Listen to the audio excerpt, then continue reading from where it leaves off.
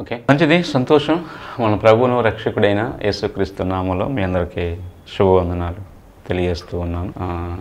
దేవుడు మన పట్ల చాలా కృప చూపించాడు. ఆ కృప చూపించాడు కనుక మళ్ళీ ఉదయకాల సమయంలో మీ అందరినీ ఇలాగ మళ్ళీ కలవడం ప్రార్థన టీవీ ఛానల్ ద్వారా కలవడం ఎంతైనా ఆశీర్వాదం అని చెప్పాలి. మనందరం కూడా దేవుని వాక్యాన్ని నేర్చుకోవడానికి దేవుడు మళ్ళా మన జీవితంలో అద్భుతమైన ఉదయాన్ని అనుగ్రహించాడు. భూమి మీద అద్భుతమైనది ఏంటి అంటే మనం సజీవంగా ఉండి ఇంకో రోజు చూడడం. అందులో ఆ రోజు చూసే విషయానికి వస్తే కనుక దేవుని వాక్యం వినడం అది మరీ అద్భుతం కనుక దేవుడిచ్చినటువంటి ఆ కృపను మనం వ్యర్థం చేసుకోకుండా ఆ కృపలో మనం ముందుకు కొనసాగిపోతే అది బాగుంటుంది. దేవుడు వాక్యం వినడానికి కృప చూపించాడు. ఆ కృప మన దగ్గర తొలగిపోకుండా మనం జాగ్రత్తగా కాపాడుకోవాలని ప్రభువుని బట్టి మనం చేస్తూ మనం ఒక మాట చదువుకొని ముందుకు వెళ్దాం చూడండి. ఒక మాట చదువుకొని ముందుకు వెళ్దాము. ఆ, ద్వితీయోపదేశ కాండంలో ఎనిమిదవ అధ్యాయము ద్వితీయోపదేశ కాండము ఎనిమిదవ అధ్యాయము ఇరవై వచ్చిన చదువుకుందాం. నీ ఎదుట వండకుండా యహోవా నశింపచేయుచున్న జనులు వెనకపోయినట్లు మీ దేవుడైన యహోవ మాట మీరు వెనకపోయిన ఎట్ల మీరును వారి వలనే నశించెదరు. చాలు చిన్న ప్రేయర్ చేసుకుందాం. పరిశుద్ధుల కృప కలిగిన తండ్రి జీవాధిపతి నీకు స్తోత్రాలు ప్రవ్వ. ఈ ఉదయకాల సమయంలో ప్రార్థించడానికి ఇచ్చిన కృపను బట్టి వందనాలు స్తోత్రాలు చెల్లిస్తున్న తండ్రి. ఇంతవరకు నిహాస్తంతోడే తోడే నడిపించారు. ఈరోజు ప్రార్థన అద్భుతంగా మీరు జరిగింప చేసినందుకు స్థుతులు చెల్లిస్తున్నాను తండ్రి. వాక్యంలో నుంచి ప్రవ్వ మరి నాతో మాతో మీరు మాట్లాడండి. మీరు మాట్లాడుతున్నప్పుడు లోబడ్డానికి సహాయం చేయండి. ఈ మాటల్లో సత్యాలు మీరు తెలియజేయండి నిజంగా ఇజ్రాయెల్ ప్రజలు కి మీరు ఏ మాటలు ప్రకటిస్తున్నారో ఇప్పుడు మాకు అదే మాటలు ప్రకటిస్తూ ఉన్నారు కనుక ఈ మాటలో సత్యాలు తెలియజేసి సేవలో వాడుకొని పరలోక సంబంధమైన దీవెనలు దయచేసి ఉదయకాల సమ్మేళతో నింపమని క్రీస్తు నామంలో ప్రార్థిస్తూ మనల్ని కూడా అడిగి పొంది ఉన్నాం తండ్రి. ఆమె. మంచి సంతోషం. ఈ చదవబడినటువంటి వాక్య భాగంలో ఇది. మోషే ఇస్రాయేలు ప్రజలు అందరికీ అంటే ఐగుప్తు దేశంలో నుంచి ఎవరైతే వచ్చారో వచ్చిన వాళ్ళ పిల్లల అందరికీ ఆయన చెప్తున్నటువంటి మాట ఏంటంటే నిర్గమాకాండము లేవ్యకాండము సంఖ్యాకాండం ఈ మూడు పుస్తకాల్లో ఏం రాశాడు? అయ్యే విషయాలు ద్వితీయోపదేశ కాండము ఇరవై ఎనిమిది ద్వితీయోపదేశ కాండం అంతా రిపీట్ చేస్తున్నాడు మరలా. రిపీట్ చేస్తూ వాళ్ళకి పారాను అరణ్యం అవకాడ అక్కడ మృత సముద్రపు లోయ ఉంది. అక్కడికి వచ్చిన తర్వాత వాళ్ళు వెళ్ళబోతున్నటువంటి ప్రాంతము ఏమై ఉందో లేకపోతే వాళ్ళు వెళ్ళేటువంటి ప్రాంతము ఏ దేశానికైతే వాళ్ళు వెళ్తున్నారో ఆ దేశంలో వాళ్ళు ఎలా ఉండాలి ఎలా ఉండకూడదు. ఈ మాట నేను మళ్ళీ చెప్తున్నాను. ఆ దేశంలో వాళ్ళు ఎలా ఉండాలి ఎలా ఉండకూడదు అనే విషయాన్ని జ్ఞాపకం చేస్తూ ఇరవై వచ్చిన వచ్చేపాటికి అంటున్నాడు నీ ఎదుట ఉండకుండా యహోవా నశింప చేయుచున్న జనులు వెనకపోయినట్టు మీరు మీ దేవుడైన యహోవ మాట వెనకపోయిన ఏట్ల మీరు కూడా వారిలాగే నశించిపోతారు అంటున్నాడు ఇక్కడ చదువుకున్నటువంటి ఈ వాక్య భాగాన్ని ఆలోచిస్తే మోస ఏమంటున్నాడంటే దేవుడు మేము మీకు మీ పితరులకు వాగ్దానం చేశాడు. ఏంటి ఆ వాగ్దానం అంటే మీ మీకు మీ సంతానానికి పాలు తేనెలు ప్రవహించేటువంటి దేశాన్ని ఇస్తాను అని అబ్రహాము ఇస్సాకు యాకోబులు వాళ్ళకి ప్రమాణం చేశాడు. అదే ప్రమాణాన్ని ఇజ్రాయిల్లతో దేవుడు ఐగుప్తు దేశంలో కూడా చేశాడు. అయితే వాళ్ళని ఐగుప్తు దేశంలో తీసుకొని వచ్చిన తర్వాత ఈ కానాడ దేశంలో ఉన్నటువంటి వాళ్ళని ఎందుకు ఏడు జాతులు వాళ్ళని దేవుడు వెళ్ళగొడుతున్నాడు అంటే ఇస్రాయేలీల గొప్పతనం కాదు. ఇజ్రాయెల్ మంచితనం కూడా కాదు. మరి ఏంటంటే ఆ ప్రజలు చేసిన పాపాన్ని బట్టి వాళ్ళకి శిక్ష విధిస్తూ వాళ్ళని అక్కడి నుంచి నెట్టేసి ఆ ప్లేస్లో ఇజ్రాయెల్ జాతి వాళ్ళకి ఇవ్వడానికి దేవుడు ఇష్టపడ్డాడు. ఇప్పుడు దేవుడు ఇష్టపడిన తర్వాత దేవుడు వాళ్ళని ఆ పరాను అరణ్యం దగ్గరికి వచ్చిన తర్వాత మొదటి సముద్రం లోయ దగ్గరికి వచ్చిన తర్వాత వాళ్ళతో మరి ఒకసారి దేవుడు చెప్తున్నాడు. నేను ఆ ప్రజలను అక్కడి నుంచి వెళ్ళగొట్టాను అంటే మీరేదో గొప్పళ్ళని కాదు. వాళ్ళు పాపం చేశారు. శిక్ష వాళ్ళకు వచ్చింది అయితే మీరు కూడా వారిలాగే పాపం చేస్తే కనుక వారికి ఏ శిక్ష వస్తుందో మీకు కూడా అదే వస్తుంది. సో మీరు జాగ్రత్త. మీరు వారి పాపములో పాలివారై ఉండొద్దు అని చెప్పాడు. ఈ మాట జ్ఞాపకం చేస్తూ దేవుడు నాశనం అనేది ఎలా వస్తుందో అది వాళ్ళకి జ్ఞాపకం చేస్తున్నాడు. నాశనం అనేది ఎలా వస్తుందో అది వాళ్ళకి దేవుడు జ్ఞాపకం చేస్తున్నాడు. ఎందుకంటే వాళ్ళు వినలేదు కనుక నాశనం అయ్యారు సో మీరు కూడా నా మాట వినకపోతే మీరు కూడా వాళ్ళలాగే శిక్ష వచ్చింది అంటున్నాడు. మీరు కూడా వినకపోతే వాళ్ళలాగే శిక్ష వచ్చింది అని చెప్తున్నాడు. అయితే ఇప్పుడు విషయం ఏంటంటే అసలు మనం ఎప్పుడు దేవుని మాట వినకుండా వెళ్ళిపోతాం? ఎప్పుడు దేవుని మాటని పక్కన పడేస్తాం? ఎప్పుడు దేవుని మాటని పట్టించుకోం అసలు మనం? ఎప్పుడు దేవునికి సమయం ఇవ్వం మనం అసలుకి? ఎప్పుడు మనం దేవునికి కాస్త దూరంగా ఉంటాము?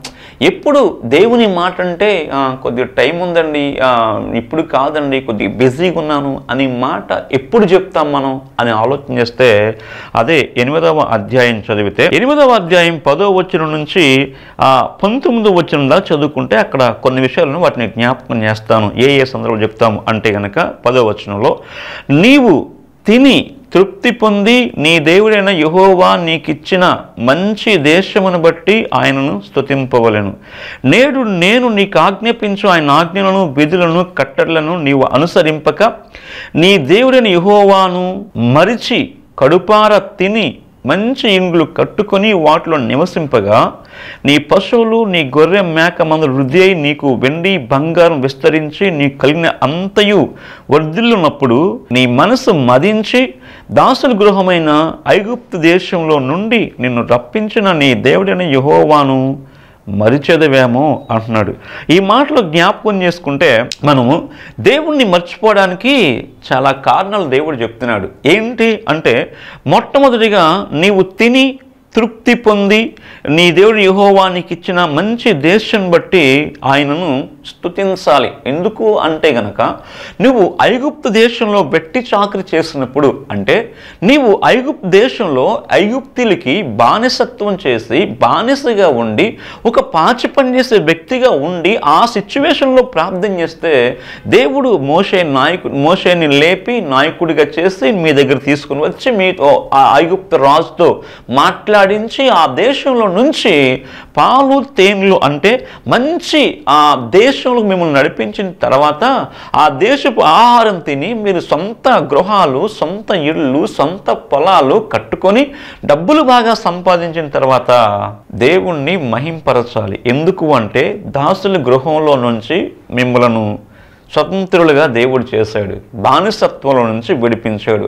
లేదు దేవుడిచ్చిన మంచి దేశంలో మంచి ఫలాన్ని అనుభవిస్తూ దేవుణ్ణి మర్చిపోతే గనక శిక్ష వస్తుంది. అయితే మన శిక్ష రాకూడదు కానీ దేవుడు ఇచ్చిన ఆ దానిని బట్టి ప్రతి విషయంలో కూడా ఐగుప్తు దేశాన్ని జ్ఞాపకం చేసుకోవాలి. ఎందుకు అంటే మీ పితరులు మీ తండ్రులు ఐగుప్తు దేశంలో ఎంత బాధపడ్డారో అది కళ్ళారా మీరు చూశారు.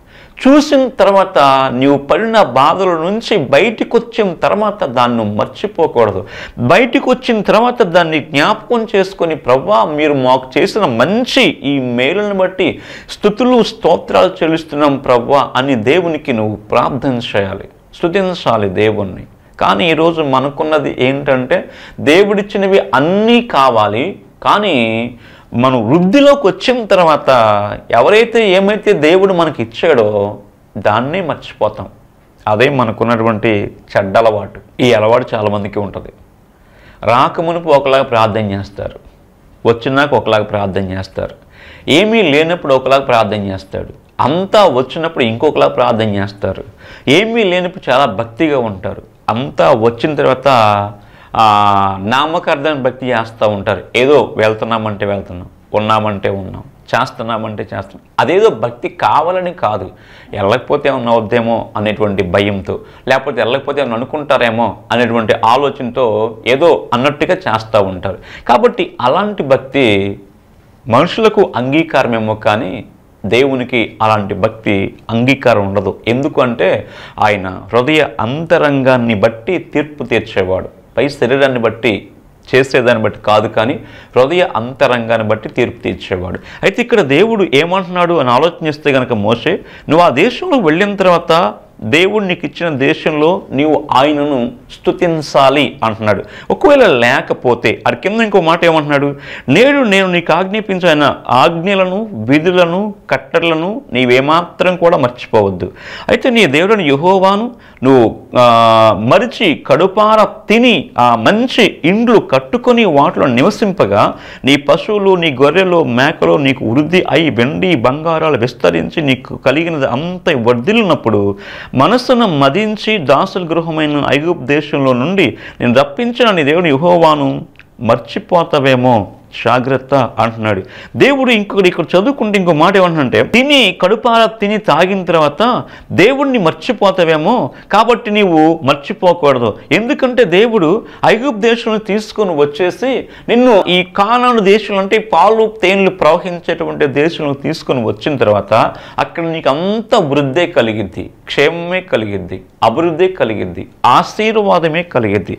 ఎందుకు అభివృద్ధి ఆశీర్వాదం క్షేమము అని గనక ఆలోచన చేస్తే దేవుడు అబ్రహాము ఇస్సాకు యాకోబులతో ఏ ప్రమాణం చేశాడో ఆ ప్రమాణం నీతో కోట్ చేశాడు నీతో ఏ ప్రమాణం చేశాడో ఆ ప్రమాణాన్ని దేవుడు నెరవేర్చాడు.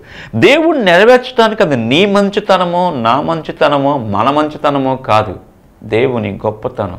ఆయన మాట ఇచ్చి నెరవేర్చేవాడు గనక నీవు ఎలాంటి వ్యక్తివైనా సరే నీకు మాట ఇచ్చి అది నెరవేరుస్తున్నాడంటే నువ్వు మంచి వ్యక్తివని కాదు కానీ ఆయన స్వభావం ఆయన మంచివాడు గనక ఆయన మంచి చేస్తాడు గనక అందుకు ఆయన నీతో చేసిన వాగ్దానం నెరవేరుస్తున్నాడు.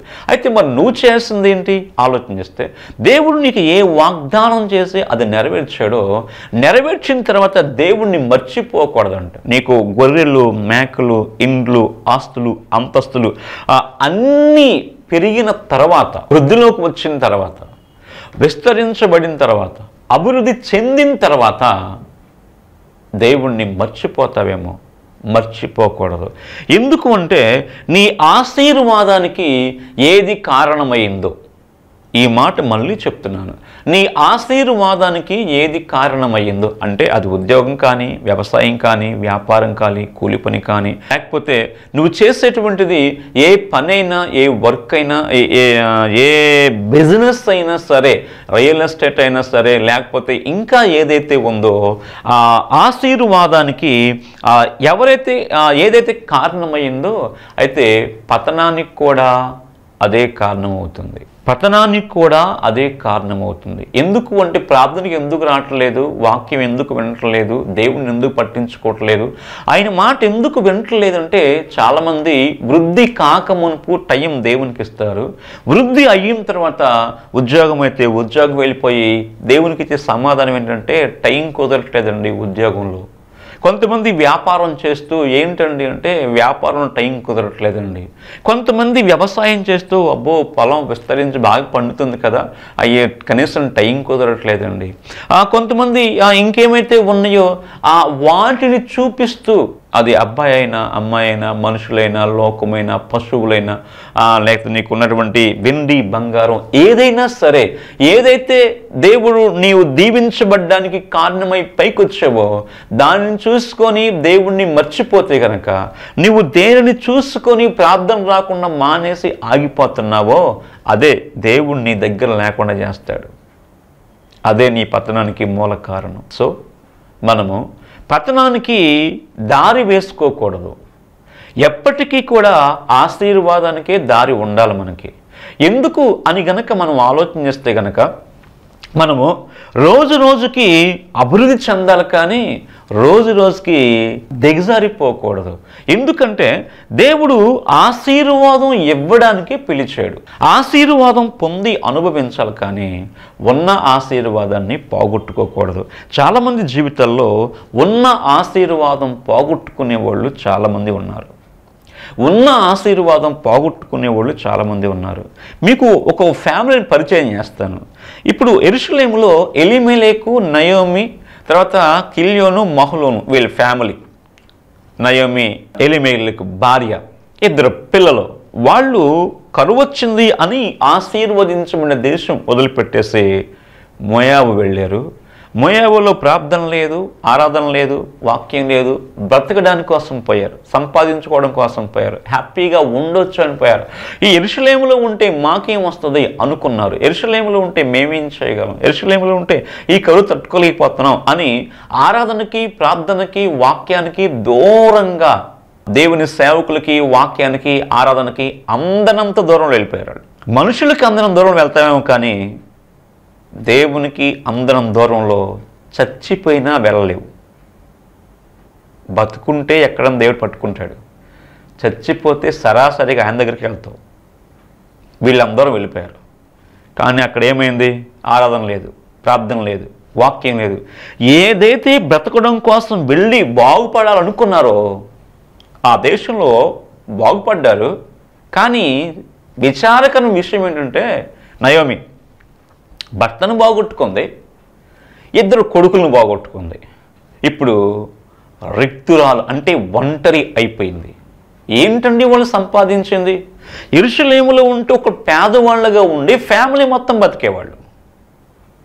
ఇప్పుడు ఎరుషులేముకి ఆరాధనకి వాక్యానికి ప్రార్థనకి దూరంగా వెళ్ళి అందరినీ పోగొట్టుకొని పనికిరాని ఆస్తిని డబ్బుని అది కూడబెట్టుకుంది. ఈరోజు మరి నీ పరిస్థితి ఎలా ఉంది? దేనికోసం ప్రయాసపడుతున్నావు? దేనికోసం ప్రాకులాడుతున్నావు? నాశనం చేసేటువంటి దానికోసమా? దీవించే దేవుని కోసం దేవుని వాక్యం కోసమా? ఆలోచించు. అయితే వాక్యానికి ప్రార్థనకి వాళ్ళు దూరంగా వెళ్ళిపోయారు. ఏదైతే కావాలి అని వాళ్ళు ఆశించారో ఆ సమృద్ధి వాళ్ళ ప్రాణాలు తీసేసింది. ఈరోజు నీకు సమృద్ధి ఉండొద్దు అని నేను చెప్పట్లేదు. నువ్వు బాగుపడదని చెప్పట్లేదు. పైకి రావద్దని చెప్పట్లేదు. నువ్వు బాగుపడాలి పైకి రావాలి వృద్ధి పొందాలి విస్తరించబడాలి. కానీ అవి వచ్చిన తర్వాత దేవుణ్ణి మర్చిపోకూడదు. అంతకంటే ఎక్కువ ప్రార్థన చేయాలి. దావీదు పిల్లోడిగా ఉన్నప్పుడు ప్రార్థన చేశాడు. యవనస్తుడిగా ఉన్నప్పుడు ప్రార్థన చేశాడు. రాజు కాకమునుపు సైన్యాధిపతిగా ఉన్నప్పుడు ప్రార్థన చేశాడు.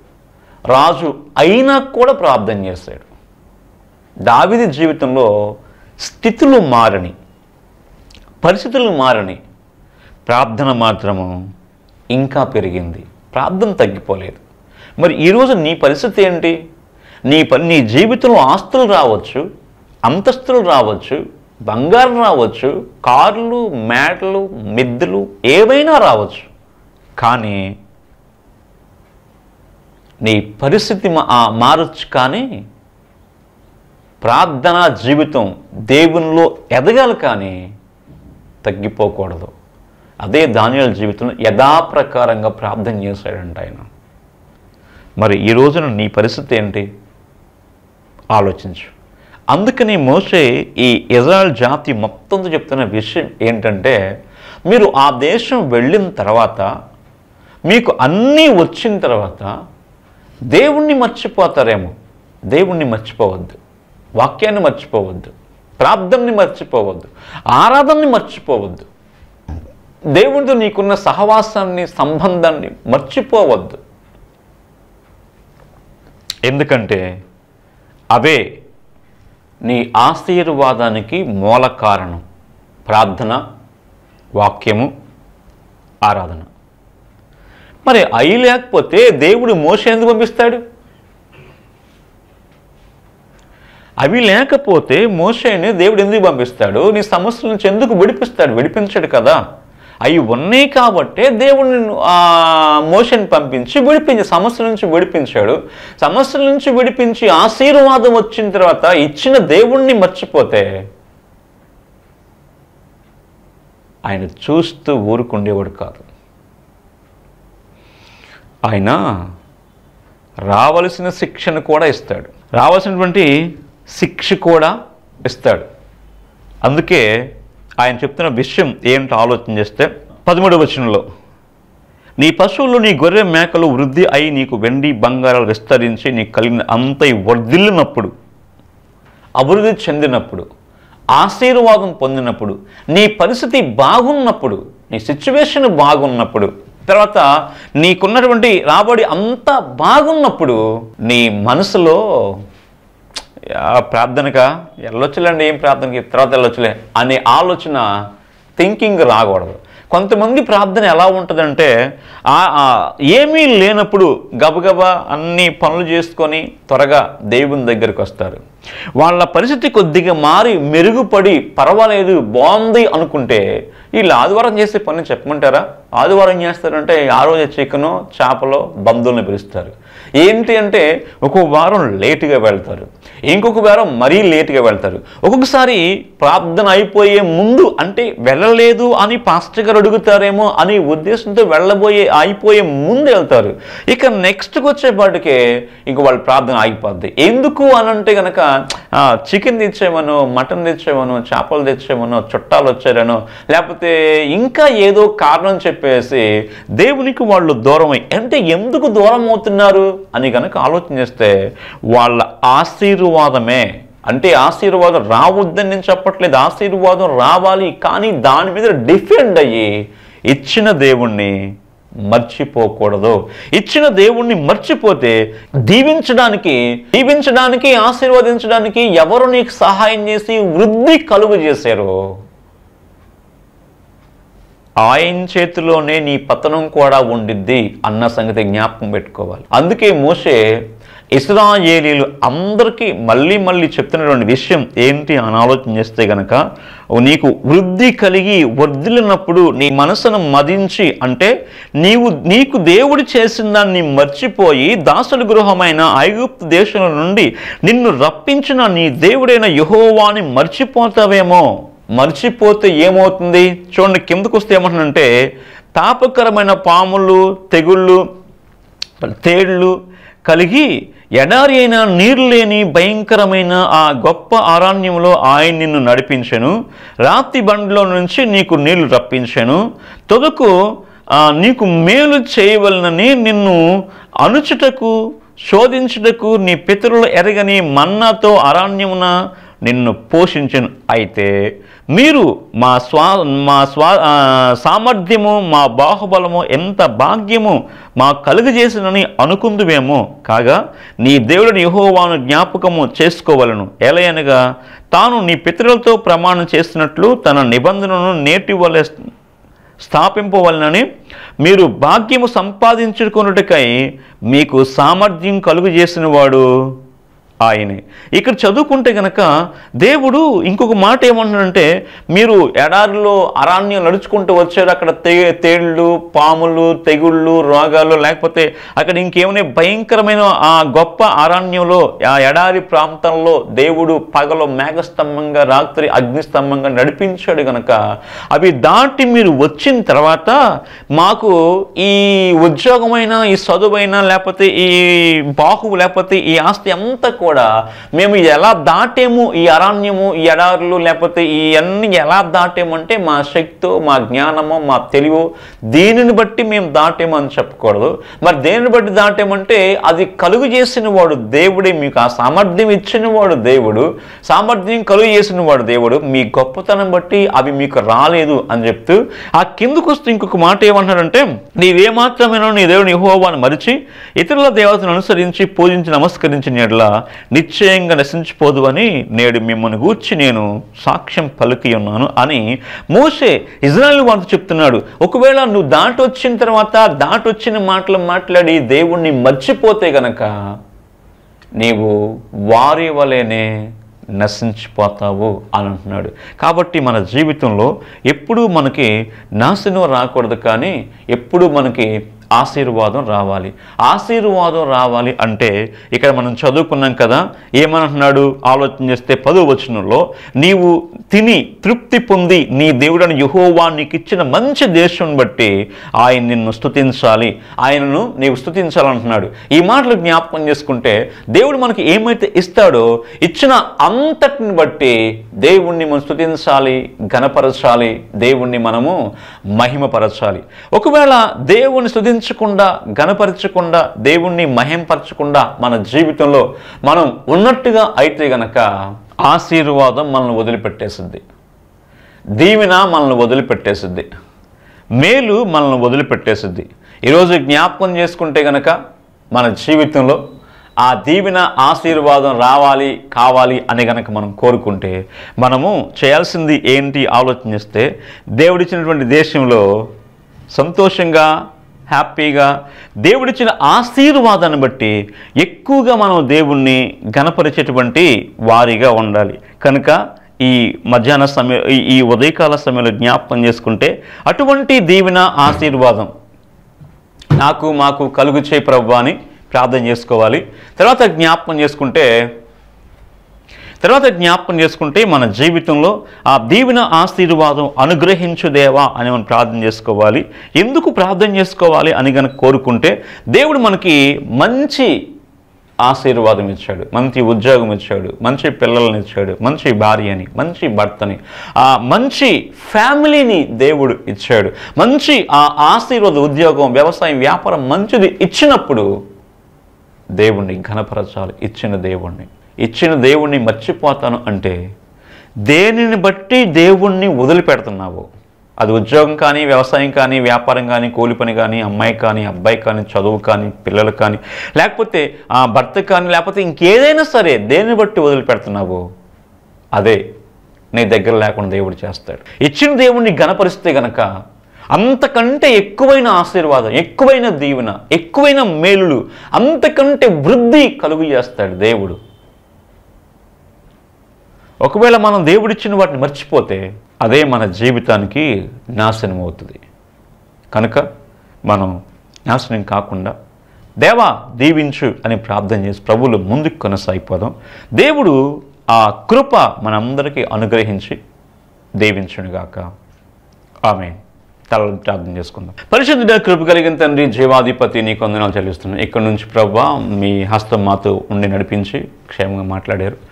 ప్రభు మాట్లాడిన మాటలను బట్టి వందనాలు ప్రభా. చెప్పిన మాటల ప్రకారం జీవించే కృపదేచి వచ్చిన మా అందరినీ కూడా మీరు ఆశీర్వదించి.